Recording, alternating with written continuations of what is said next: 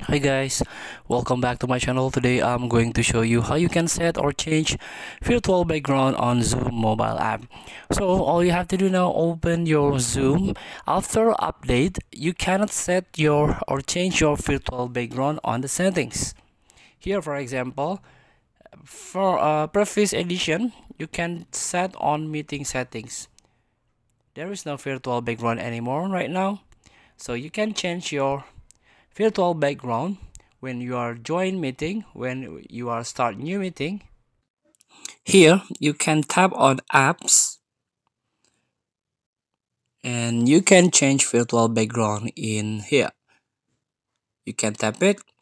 So virtual background now powered by pexels so you can change based on your preferences. There's a nature interiors art and travel Feel free to try. Thank you for watching. Don't forget to comment, like, and subscribe. And so click the next button below. See you in the next video.